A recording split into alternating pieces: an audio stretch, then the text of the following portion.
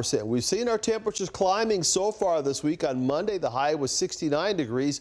Temperatures in the upper 80s for today. Typically, we hit 90 about 20 times over the summer season. Haven't done that yet, but we've got a streak of very warm numbers on our way. Starting on Sunday, we'll see the high temperature in the middle 90s, and we'll keep temperatures rather warm on through the middle part of next week with those near record highs. We have a few counties under a severe thunderstorm watch that goes until 9 o'clock this evening, and we'll see the stronger storms rumbling across north central Indiana later on this evening, right on through the overnight period. Some heavy downpours going to be likely on through the morning hours, especially north of Interstate 70. Farther to a north, to a half inch to an inch of rain is going to be likely.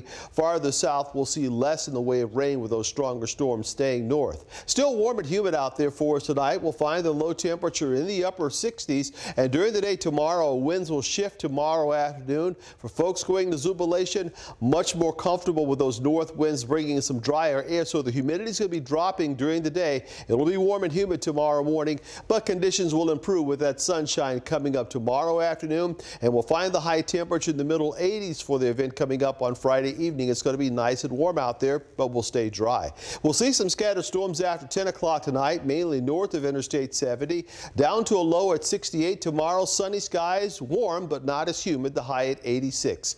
Up to 87 with sunshine on Saturday. Then we get into the 90s on Sunday and Monday with sunny skies. We'll keep the high temperature in the 90s with scattered storms on Tuesday and Wednesday up to a high of 94.